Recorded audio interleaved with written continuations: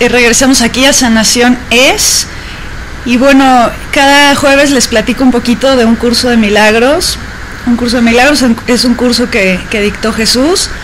Y Jesús como, como nuestro hermano no, no tiene ninguna forma de, de relacionarlo con alguna religión. Y vamos a hablar hoy sobre la lección número 15. Este es para que los que están haciendo su práctica, esta es la lección que, corresponde el día de hoy. Y deben hacerla primero repitiéndolo para uno mismo, repítela para ti mismo y aplícala a cualquier cosa que, veas enfrente de ti, a tu alrededor, usando el nombre de- del objeto que estás viendo. Entonces, si, si frente de ti hay un televisor, repite, este televisor es una imagen que yo mismo me he fabricado. Esta cámara es una imagen que yo misma me he fabricado y esto nos va a ayudar mucho porque porque muchas veces las cosas que pensamos no es lo que de verdad existe y esto nos ayuda mucho a sanar relaciones porque muchas veces pensamos que estamos pensando por los demás, estamos pensando que una persona está enojada con nosotros por tal situación, eh, que no me quieren, que no sé, que, que me tiran mala onda y son imágenes, son cosas que vamos fabricando en nuestra mente y que no son verdad. La única verdad es, es el amor, es contactar con las personas a través de esta esencia del amor, de corazón a corazón. Y eso de verdad crea entendimiento, sana muchas relaciones, cambian al 100% tus relaciones. Entonces con un curso de milagros vamos entrenando poco a poco nuestra mente y ahorita esta lección nos ayuda mucho mucho eso, ¿no? A, a soltar este creencias, ¿no? Que nada más nos limitan y nos, nos traen estrés a nuestra vida. Y bueno, regresando con nuestra invitada, Monique Binay, desde Cancún. Eh, Monique, vamos a retomar esta parte de las emociones, cómo las emociones afectan a nuestra, a nuestra dieta, a nuestra alimentación. Sí. Estamos platicando, ¿no? Que es muy importante, bueno, una, darle la importancia a no nutrir en el cuerpo, pero la otra parte es que muchas veces comemos, porque nuestra parte, ¿no? En la parte emocional no estamos bien. Entonces, bueno, lo primero es como hacer conciencia, ¿no? Cuando estoy comiendo, cuando viene un antojo, cuando de veras tengo un arranque o, o no puedo frenar, ¿no? Y, y soy un comedor compulsivo, pues estar pensando qué me está pasando en mi vida, ¿no? ¿Qué estoy viviendo? Me siento cansado, estoy frustrado, estoy enojado. Entonces esto es un trabajo, no de un día, es poco a poco. Por eso es importante cada que venga un antojo, sobre todo con los antojos, trabajar. ¿Por qué? Porque el antojo no es malo. El antojo está para, es una alerta del cuerpo, es una forma de comunicar el cuerpo, ¿no? De decir, necesito esto, ¿no? Ponme atención, estoy molesto, estoy triste. Cuando venga ese antojo, quiero que hagan conciencia cómo se sienten. Háganlo todos los días, hasta, van a ver, a partir de la semana, normalmente es a los 7 o 10 días, y empieza a salir toda esta parte guardada que no hemos trabajado, y van a ver cómo inmediatamente el antojo empieza a bajar. Entonces podemos empezar como a comer de una forma más sana, más estable, más equilibrada. Por ejemplo, cuando se nos antoja algo dulce, ¿qué significa? Ok. Pero todos los antojos tienen eh, su parte emocional, ¿no? Y a veces también es una carencia física. Especial en- cuando hablamos de todo lo dulce, normalmente cuando es, eh, por ejemplo, si es muy cremoso, como podemos hablar de esta crema de chocolate, ¿no? Una avellana, podemos hablar de chantilly o un helado, es falta como de cariño, son apapachos, son abrazos, ¿no? Es esa parte cremosita, como son apapachos. Cuando es mucho dulce, normalmente es falta energía en el cuerpo por estrés o por tristeza. Y nos pasa mucho a las 5 de la tarde a todas las personas cuando trabajamos, ¿no? Y a las 5 de la tarde estás muy cansado y necesita el cuerpo energía para acabar el día, para Ok. terminar.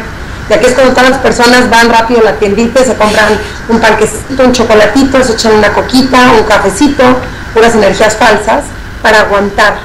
Y aquí es poner atención, ¿qué estaba pidiendo el cuerpo? Pues energía, pero una energía sana, una energía verdadera. Entonces, bueno, pues aquí le tenemos que dar una fruta, un azúcar no procesada, un amaranto con miel, y bueno, hay varias opciones. Lo dulce puede ser estrés, puede ser tristeza, o falta de cariño, de apapachos. Perfecto. ¿Y algo picoso? Hay gente que come mucho picante. Sí, en México sobre todo conocen con el chamoy, con el chilito. Y hay gente que de verdad, no es que de vez en cuando comamos con chile, sino que realmente todo el día hace una ansiedad y ya estamos así urgidos por poder comer este chilito. En este caso, la carencia es física, no es emocional. Eh, es que el cuerpo necesita nutrientes, necesita minerales. ¿Y cómo se sustituye esto? Eh, ¿Cómo podemos quitar esta carencia? Comiendo verde y arroz integral. ¿Qué es lo verde? Pues todas las hojas verdes. Eh, el kale, la lechuga, arúgula, berros, espinacas, y bueno, todas las verduras, ¿no? Brócoli, calabaza, ejotes, espárragos, muchísimas variedades, sobre todo en México, aguacate y mucho arroz integral. Y con esto van a ver cómo el antojo empieza a bajar. Ok, perfecto, como dices, es escuchar al cuerpo y a lo mejor si no lo atascamos de una bolsa llena de papas con salsa y de verdad nuestro cuerpo nos está pidiendo nutrientes, ¿no? Claro, ¿y qué pasa? Cuando viene el antojo, la mente está clavada en el antojo. Entonces, tú vas rápido quieres saciar ese antojo rápidamente, entonces cuando tú detienes un minuto ese pensamiento del rojo y dices, ¿sabes por qué? Es increíble el trabajo que se empieza a hacer, ¿no? Entonces es darle ese segundito de análisis al antojo. Eh, quería aclarar un poquito en esto también de cuando se antoja todo lo picoso o chile. Cuando hay personas que están en tratamientos médicos muy fuertes o tomaron durante mucho tiempo algún medicamento, es muy común que estos medicamentos desmineralizan el cuerpo. Es necesario compensar no, el cuerpo está diciendo ayúdenme ¿no? a liberar todos estos medicamentos y es a través de todo lo verde. Wow, ok, qué interesante. Sí. Ok, ¿y hay antojos de qué más puede haber antojos de salado? Mira, salado, condimentado, esto por ejemplo, ¿sabes? Esto lo condimentado, ¿no? Toda esta comida a veces china o que tiene mucho glutamato monosódico o que tiene demasiado así condimento, eh, es como falta alegría ante la vida, ¿no? y el condimento es justo, es así como picoso, ¿no? Entonces se busca una vida con un poco más de alegría. Eh, también tenemos lo crunchy, eso hay casos muy interesantes eh, de personas que todo el tiempo buscan eh, papitas, tostadas, galletas, pero crunchy, así crujiente. Y todo es, es cuando no se expresa el enojo. Tuve el caso de una señora que, que buscaba siempre todo lo crujiente y me dijo, es que ¿por qué? ¿No? ¿Por qué? Y cuando se puso a analizar todo, estaba pasando por un proceso bastante difícil con su esposo y claro, esta falta de expresión, el querer morder, ¿no? Morder al esposo o la situación. Pues bueno, aquí lo interesante es que una vez trabajado, pues ya el antojo desapareció. Claro. Ay, qué bonito. Y, por ejemplo, de los alimentos, retomando la parte de, dieta, nutrición, ¿qué, alimentos o qué ingredientes son los que causan la obesidad? Que no nos damos cuenta, ¿no? Y que están en, en esos alimentos que dices y que hoy en día, pues, siempre cuando me dicen, bueno, entonces que comer, todo lo que vuela, ¿no? Camina, nada, crece en la tierra, ya sea en árboles o en la tierra, es lo que podemos consumir, lo que se puso en el planeta Tierra para nosotros. Entonces, ¿qué estamos hablando? Nueces, semillas, granos, quien no sea vegetariano, bueno, pues carne, ¿no? De, una buena fuente, un buen pescado, fresco, de preferencia, ¿no? Una buena carne, un buen pollo, huevo, eh, y todo lo que son frutas y vegetales todo lo que ya viene empacado o tiene más de tres o cuatro ingredientes, pues bueno, no está el cuerpo preparado para poderlo procesar. Y aquí es el problema. Llega un punto en que se empieza a saturar de todos estos, pues no alimentos, porque no son alimentos, todas estas sustancias tóxicas, y aquí es cuando se transforman una obesidad o en alguna enfermedad pues, degenerativa, ¿no? Que hoy en día las primeras causas de muerte son por cáncer, diabetes, problemas cardiovasculares y todo esto es causado en la mayoría de casos por los ingredientes. Y uno de los más importantes por tratar es el glutamato monosódico o veneno lento, que está escondido en millones de productos de muchos nombres. Y lo que causa, sobre todo aquí en México, es un problema muy fuerte porque lo tienen muchos pues, enlatados, sopas, ¿no? Este, estos, son todos los consomés de pollo, hacen que comamos 50% más de lo que debemos de comer. Entonces, eh, pues las personas siguen comiendo y comiendo y nunca se sienten satisfechos y es por causa de este ingrediente. Entonces es importantísimo eliminarlo de la dieta, ¿no? porque además causa muchísimas enfermedades, mareos, visión borrosa, dolor de oídos, dolor de cabeza, estreñimiento y muchas cosas más.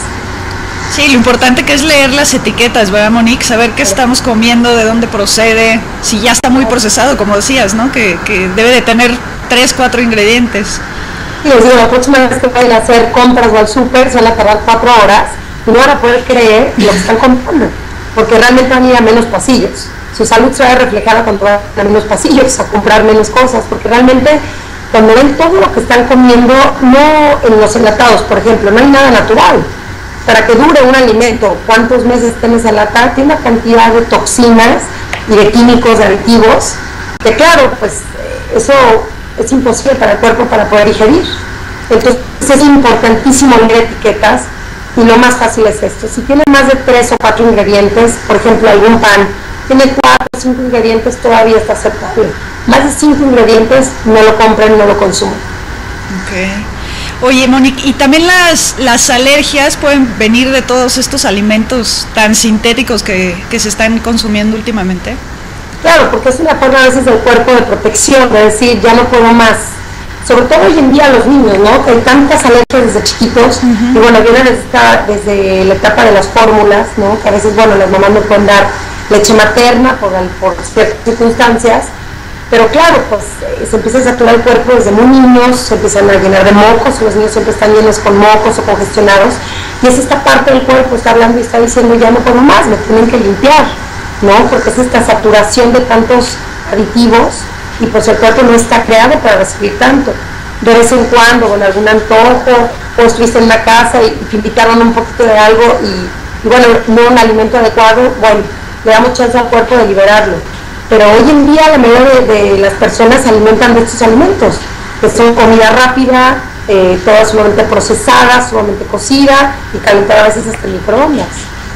Claro, y es esta parte de regresar a nuestra esencia, a lo que decías, a lo natural, y, y, es el contacto que tenemos como seres humanos con la tierra, con la naturaleza, y de verdad es más simple, más sencillo la preparación, la gozas, te vuelves consciente de que estás preparando con amor tus alimentos, entonces todo eso se ve reflejado en lo que te estás nutriendo, ¿no? Ya estamos hablando también, es increíble esta parte, eh, podemos hablar más de este tema, pero cuando cocinamos para nosotros, nos gusta o no, hay gente que no gusta la cocina, no tiene el tiempo, pero con el simple hecho de prepararnos un juguito, una ensaladita, picarnos un jitomate con aguacate, estamos hablando de cuánto nos queremos, ¿no? Entonces tenemos tiempo para todo, pero para cocinar no. Entonces yo siempre les digo, te puedes organizar una vez a la semana para dejar todo hecho para, para tu semana, pero es un regalo para ti, porque es cuidar tu cuerpo, es cuidarte a ti. Entonces eso habla de tu autoestima, que tanto te quieres, que tanto te quieres cuidar. Entonces es muy importante, ¿no? Dedicarnos un ratito. Sí, que mejor regalo que amarnos a nosotros, darnos un apapachito Monique, danos, necesitamos que nos des como tips, cosas bien, herramientas que podamos aplicar en nuestra vida diaria. Vamos un cortecito y regresamos contigo. Claro que sí, ahorita nos vemos.